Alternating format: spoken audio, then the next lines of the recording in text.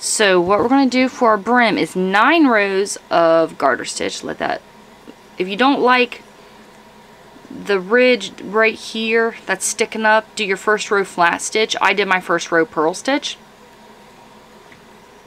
Which I will show you. If you're unfamiliar with the stitches, I'm just going to show them real quick.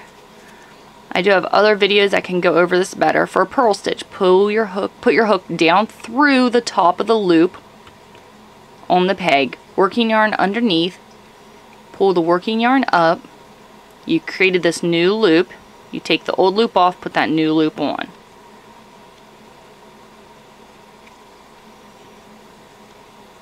Your first row is purl stitched all the way around.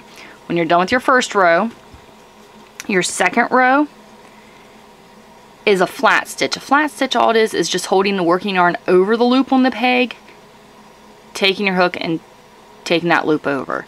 So you're going to alternate one row of purl, one row of flat stitch for nine rows.